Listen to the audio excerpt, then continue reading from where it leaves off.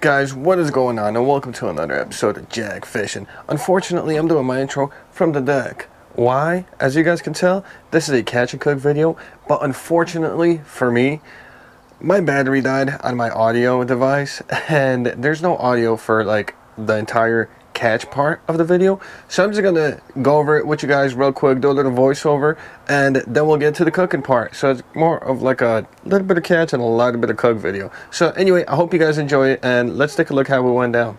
So this right here, guys, was a very, very special moment for me. Um, as you guys can tell, my boy is catching a bluegill over here. It was the first one he had this year.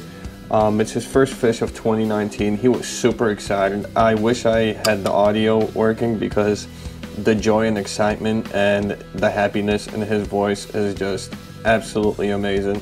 High five right there.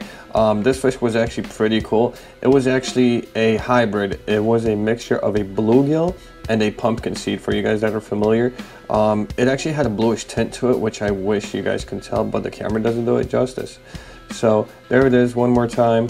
Gorgeous little fish. It's his first fish of 2019. And there he goes for the little release. And there the fishy goes. It was awesome. We had a wonderful, wonderful day. Now, right over here, as you guys can tell, I'm using the fishing rod from Mike uh, from Challenging the Outdoors. He's the one that sent it to me. And this is the bluegill that we're going to cook up. So it was a slab. It was a nice one.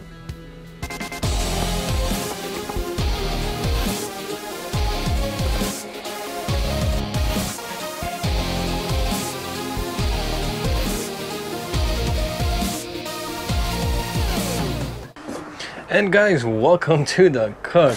All right, so original plan, we were gonna do a catch and cook in the woods. However, uh, yeah, I had my kids with me.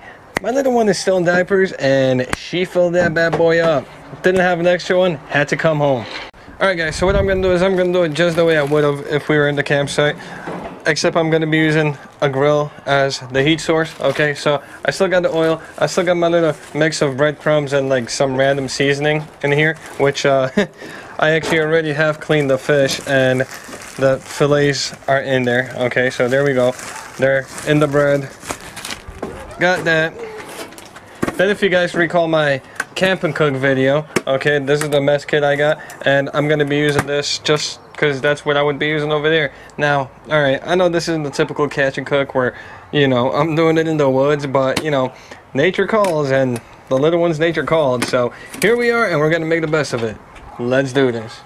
I filleted them, the bluegill up. Okay, it's in here. I got two little fillets. Um, just uh, to give you guys an idea, I'm going to be using this cheap little vegetable oil I picked up in Dollar General. Okay, and I'm just going to be deep frying uh, deep frying it real quick. And that's literally all I'm gonna be doing. It's just more of a little taste and reminder of how excellent live caught fish are. Well fresh caught fish are. So just to give you guys an idea um, you guys saw how big that bluegill was. That was a that was a nice slab. And uh, the fillets that you get out of fish like that are just that big. Very small. Okay so they're not big at all. Uh, you know they're, they're really delicious though. It is beautiful beautiful white meat. I wish i would have showed you guys before i actually put them in the breadcrumbs and stuff but there it is. It's really good. Super super delicious. All right guys so i think the oil is ready. I got my two little fillets over here which uh, i just got them in some uh, breadcrumbs and some random seasoning and stuff so they should be done really quick. We're gonna put them on and let's see what happens guys. Oh yeah that's what i'm talking about right there Oh yeah, look at that sizzle, ladies and gentlemen. That's what I'm talking about. Bluegill of 2019 going in hot. see what I did there? There you guys go. You can see it sizzling nice and good. So I got the fillets here. They are just nice and slowly coming together.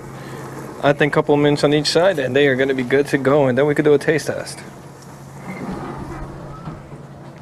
I just want to take this time to say thank you to you guys. I know it's been so long that I haven't been able to provide content, and I've been chasing this bass, trying to get on the board for the Spring Bass Open. And today I just took a step back and I said to hell with it. I took my children out, you know, got a couple of worms, and we went out there, and it was an amazing time. We caught a couple of bluegill. The one big one we got, the slab, kept it, and we're cooking them up. I'm gonna flip them real quick. There's one. Okay. Whew. Ah, that's hot. There we go. Flip the other one. And there we go. Take a quick look. There you go. It is looking good. Another thing I really want to do real quick is just say thank you to Mike from Challenging the Outdoors. Um, it is on the rod he sent me that I caught this bluegill on, and uh, it's just amazing rod, and he is an amazing person. So um, huge shout out to him. And you know what? If you guys haven't checked out Challenging the Outdoors, check them out. They're a great channel, awesome guys, very funny, extremely entertaining to watch. If you guys aren't subscribed to them, you're missing out on a lot.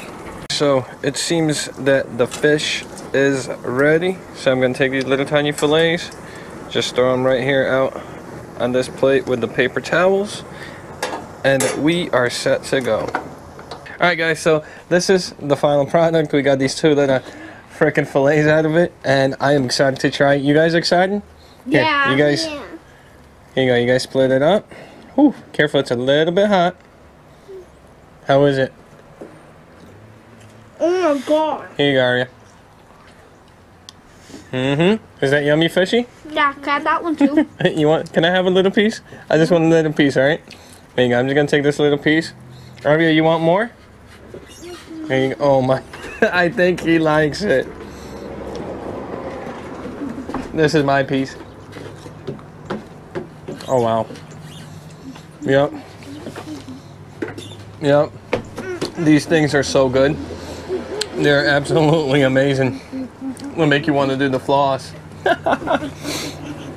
but um, yeah, guys, it's a lot of work for very little. I guess we got to go back fishing. so the final verdict is bluegill is an absolutely amazing fish to eat. It's very delicious. However, given the size, you gotta catch a whole boatload of them to get a decent meal out of them. You know, uh, what you guys seen, these two little tiny fillets were from a good sized bluegill. So Darren, just so you know, this is what you're in for, buddy. I hope you bring your fillet knife down when you're uh, when you're coming down here, bud.